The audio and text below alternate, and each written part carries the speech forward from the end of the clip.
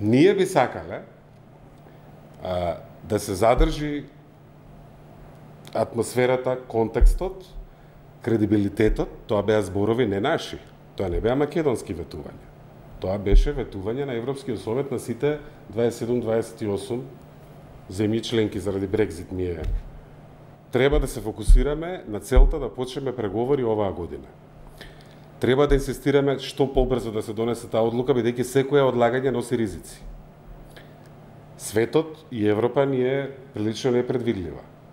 И затоа ние имаме интерес Европската Унија да се држи до својот зборот минатата година.